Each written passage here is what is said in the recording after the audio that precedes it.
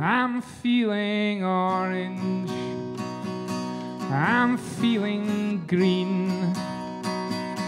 I'm feeling purple. The Swarovski Whitechapel Gallery Art Icon Award is really a Lifetime Achievement Award for an artist whose work continues to resonate today, who's influential, who's still very much at the top of their game, uh, but who no longer qualifies for some of the other prizes. We're thrilled that Sir Howard Hodgkin is receiving this award, which really will shed incredible knowledge and appreciation towards the artwork that he's created, uh, with which he has certainly impacted the art world and is inspiring the current generation, but also the next generations to come. Our first artist was selected by a very distinguished panel. We just all felt that he has been a major figure on the British art scene for a very, very long time.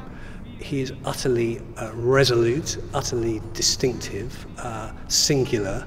You know when you're looking at a painting by Howard, it could be by no one else.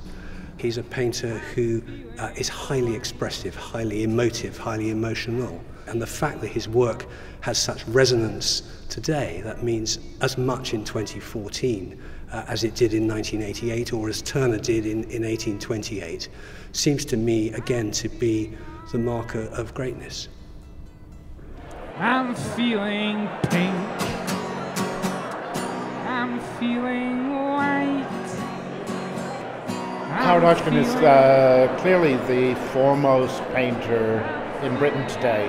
Well, Howard, to me, is the, the, the great artist of my time, and he's the one that I've always felt the deepest involvement in and the greatest excitement about. It is just that unstinting dedication to working in a working method that is so impressive.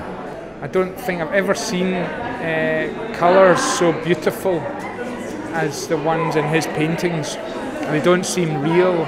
As part of the evening, we'll be staging an auction hosted by Christie's. 2004, 2006. Thank you, sir. Gentlemen, has it? 26, 28, I have. 3,000 is yours.